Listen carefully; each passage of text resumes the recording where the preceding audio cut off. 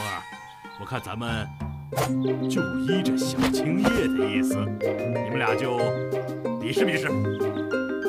青叶，你可要看好了。唐府少将军唐清风于今日清晨入室行凶叶良镇一案的证人惨遭杀害，事后唐清风挟持人质，与唐府二小姐唐青叶逃之夭夭。唐府出大事了！听说这个唐继忠是个杀人不眨眼的大恶人。此案人证确凿，此事没那么简单。